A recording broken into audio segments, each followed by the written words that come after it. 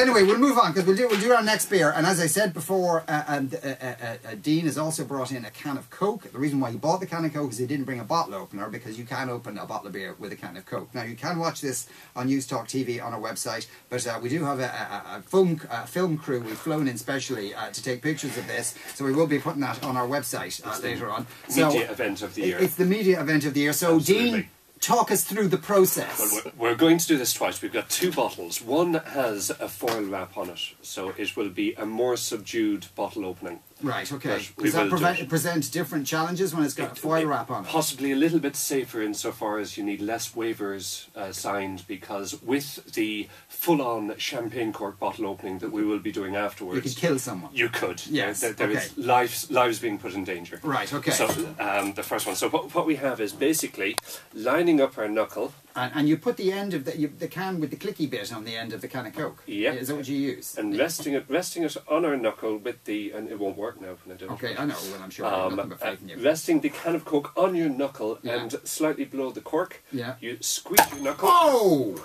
and That was, we- we that was did it. scary. That We was very scary. That, well, that was really good. that was very impressive. So that's that. We That's that one. And that one, and this speak- one I was a bit safer, we- we- no, no. This is the- this Oh, is this is the dangerous one. Yeah, this is the dangerous one. Watch so out, cover your film eyes. crew. We, we, need goggles. Yeah. Ah, Oh, there you go. no, that didn't oh, go. that didn't work. There we go. right? Okay, phew. I nearly took your head off there, Jess. That's safety.